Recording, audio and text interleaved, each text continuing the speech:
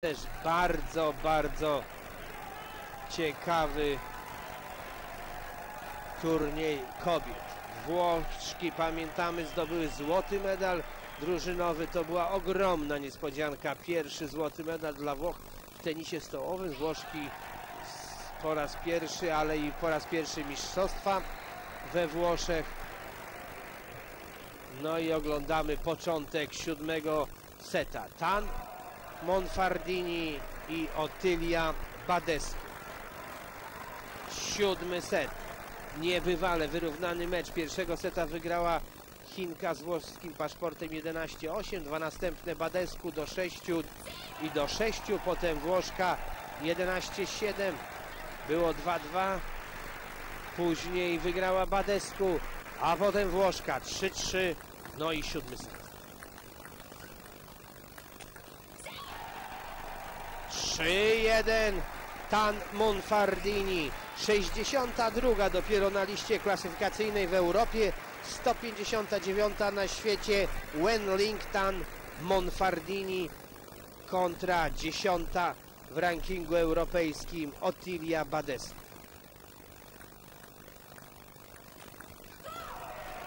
I wspaniała akcja, piękny punkt Badescu, której przecież dopingujemy nie tylko dlatego, że zawsze to jakoś dziwnie, kiedy Chinka wygrywa Mistrzostwo Europy, ale Badescu to przecież zawodniczka, która wspólnie z Lucjanem Błaszczykiem wczoraj zdobyła no poniekąd i dla nas w jakiejś części brązowy medal w turnieju mixtów. No i dzisiaj staje przed wielką życiową szansą zdobycia tytułu mistrzyni Europy.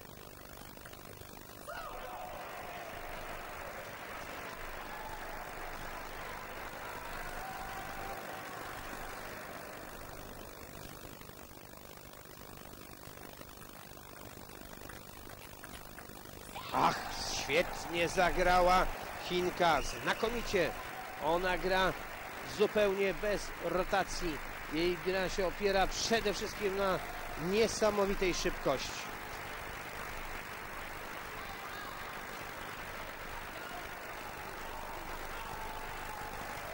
Ogromny doping, dwa punkty przewagi, siódmy set.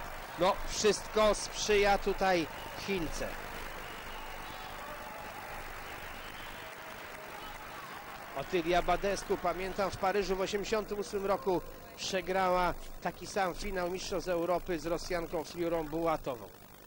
Teraz jeszcze jest szansa.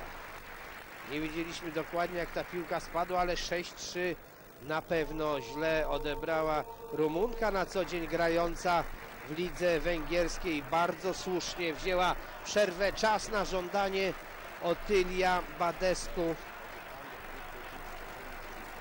I ta maleńka Chinka, która miała ogromne zasługi w zdobyciu złotego medalu przez zespół Włoch w turnieju drużynowym. Podobnie jak młodziutka Stefanowa, to były motory napędowe tej włoskiej drużyny 3-1 z Chorwacją. Gigantyczna niespodzianka. Ale ta ta Chinka gra znakomicie. Badescu również w tym turnieju. Nie ma powodów do narzekań. Medal w grze mieszanej a teraz szansa na złoto. Jeszcze jest szansa, chociaż zaczyna lekko nieco uciekać. 6-3 Monfardini. 7 do 3 dla Chinki. Histeria, ale i ogromna radość na widowni. Piski Chinki, która czuje, czuje, że ten drugi złoty medal jest bardzo blisko.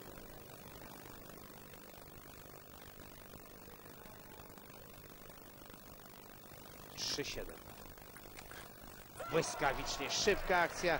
Nie wiem, nie mam, przyznam, takich danych, ile centymetrów wzrostu mierzy Chinka, ale Badescu ma 1,60 m, więc nie jest przesadnie wysoka, a Chinka wyraźnie jest od niej niższa, przynajmniej o głowę.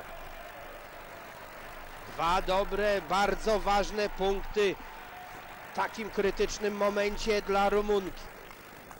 7-5 podaje Włoszka.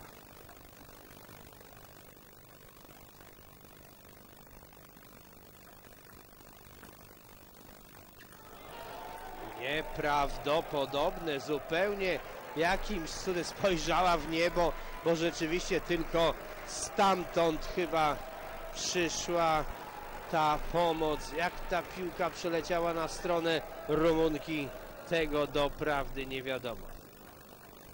Takim momencie finał Mistrzostw Europy 8-5. Znakomicie Badesku wytrzymała nerwowo i szósty punkt dla Rumunki. 8 do 6 prowadzi maleńka Wenlington Monfardini. I teraz Włoch wziął czas.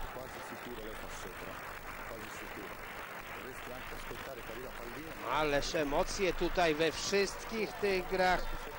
Nieprawdopodobne emocje grają.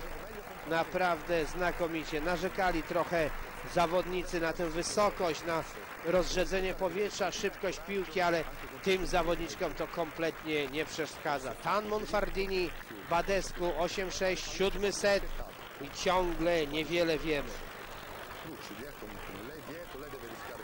Badescu 10 w Europie, Monfardini 62 to turniej wielkich sensacji. Szybko odpadły Borosz, Sztef, Szep, Todd, Batorfi, Nemesz, Struze, a pozostała z pierwszej dziesiątki tylko Badescu. Tam w półfinale, pamiętamy, była Stefanowa i młoda Serbka Erdeli. Fantastyczny punkt zdobyty przez Badescu.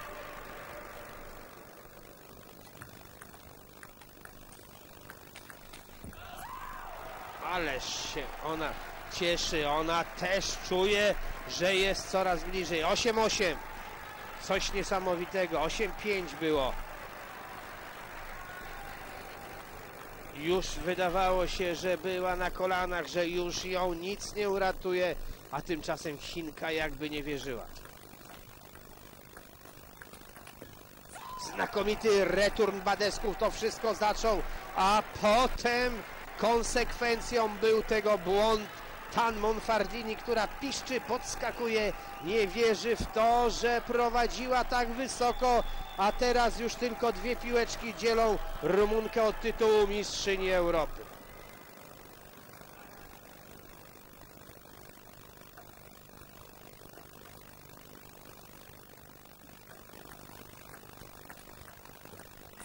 i 10 do 8.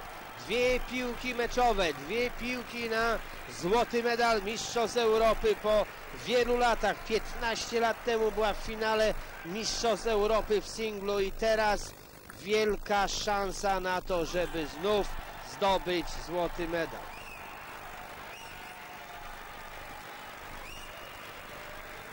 Pierwszy punkt mistrzowski obroniony.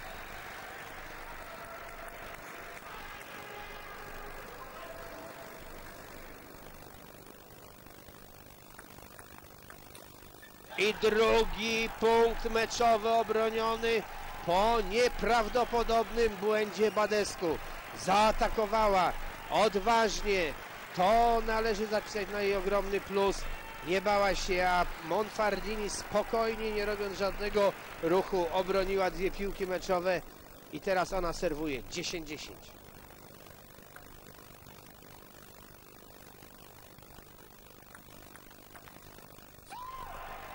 Jedenaście do 10. Trzecia piłka meczowa dla Rumunki Otigi Badescu.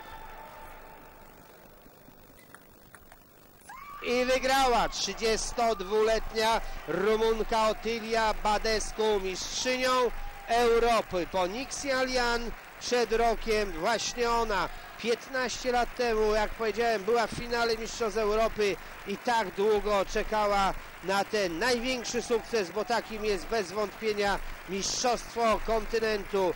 Była już wicemistrzynią świata, była brązową medalistką, zdobywała wiele medali złotych w mikście, w deblu i jest również złotą medalistką w grze pojedynczej.